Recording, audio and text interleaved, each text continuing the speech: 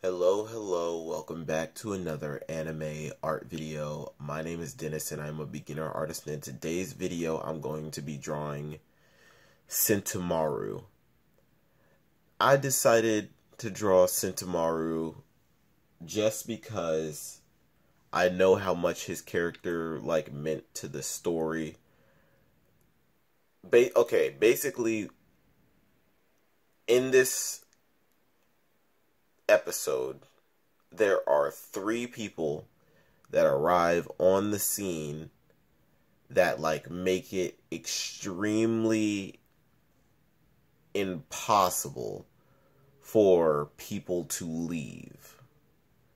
And those three people are Sentomaru, Kizaru, and the pacifistas they make it impossible for people to leave. Well, Sentomaru and Kizaru more than uh, the pacifistas.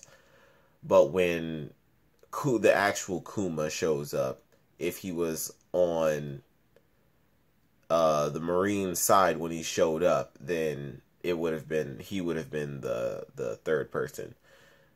Um, but the pacifistas were beatable, so that's why I should change it to two people that made it impossible for people to leave. Sentomaru was able to use Haki, so I'm pretty sure he would be stronger than most of the people that were actually there that weren't Kizaru and Rayleigh and I want to say Shiki, I mean not Shiki, uh Shakky, which is um uh Rayleigh's uh, I think girlfriend. I think she she Rayleigh and uh, Kizaru are all stronger than Sentomaru, but I think that he beats everybody else that was on the on the um, groves on the islands. But um, let's get into this.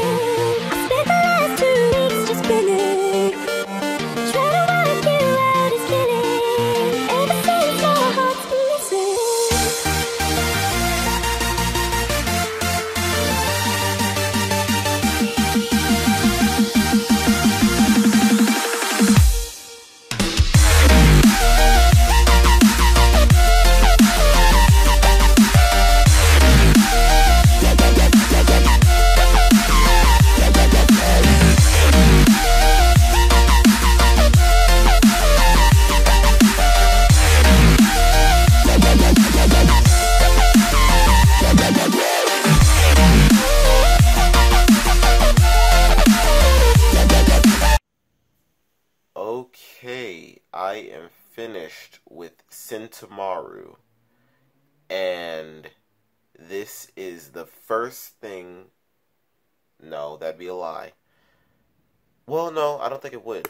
This is the first thing that I'm drawing in 2020. The first official thing. This thing wasn't that hard to draw, though.